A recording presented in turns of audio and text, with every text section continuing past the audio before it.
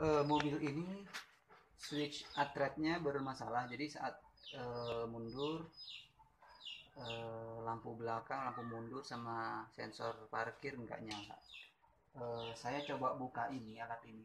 Eh, mati ah, ah, video labang roll. Posisinya ini di sini. Nah saya buka dan saya cek. Saya cek menggunakan test pen menggunakan test pennya. kita lihat test pennya lihat. Test pennya lihat nyala ya nyala oke. Nah ini saya coba nggak nyala. Nah kita pencet tombol yang di bawah ini biar nyala. Nah, sebentar.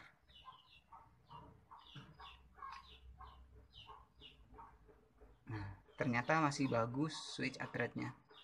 Hanya saja longgar di sana nah ini saya mau mengencengin aja dan sekaligus dibersihin. Ini. jadi teman-teman kalau misalnya ada masalah dengan eh, sensor mundur lampu mundur nggak nyala otomatis bisa cek switch atret ini. Nah ini masih normal cuman saya bersihin aja kemudian saya pasang lagi nanti. Eh, kita cek hasilnya nanti Eh, ya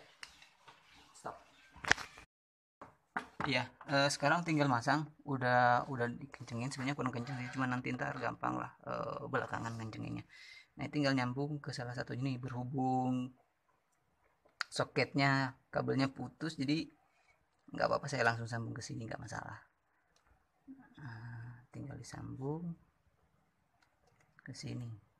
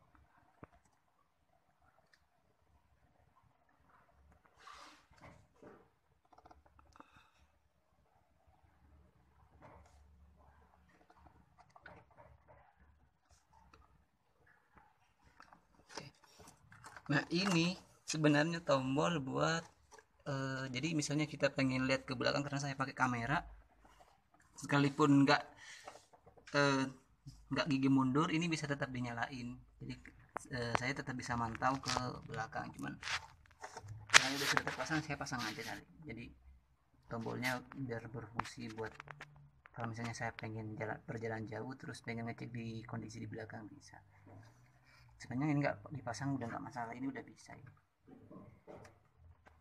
oke kita tes ya. Ini biar nggak nggak biar nggak terpisah kabelnya. Eh, biar biar nggak nyambung karena bahaya kalau nyambung. Eh, min plusnya kita limitin dulu kayak gini sebentar sementara. Nanti kita solasi oke. Coba dan Bet ke dalam ayo. Sini Bet kita coba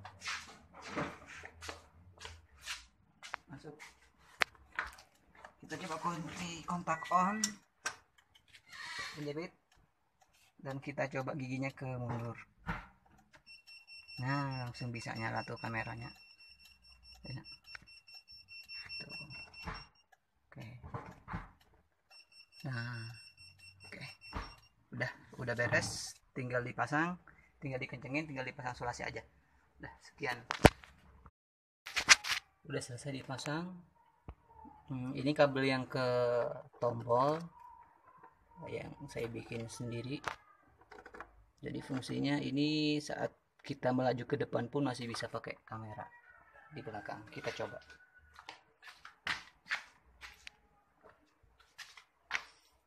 Ini tombolnya. Nah kita coba pencet nah jadi kita bisa pantau sekalipun posisi uh, gigi uh, netral ataupun maju. Nah kita coba switch atretnya berfungsi atau enggak saat gigi dimundurkan. Nah udah berfungsi. Ya, selesai. Jangan lupa like dan subscribe. Kalau misalnya ada yang perlu ditanyakan bisa di kolom komentar. Ya terima kasih. Assalamualaikum warahmatullahi wabarakatuh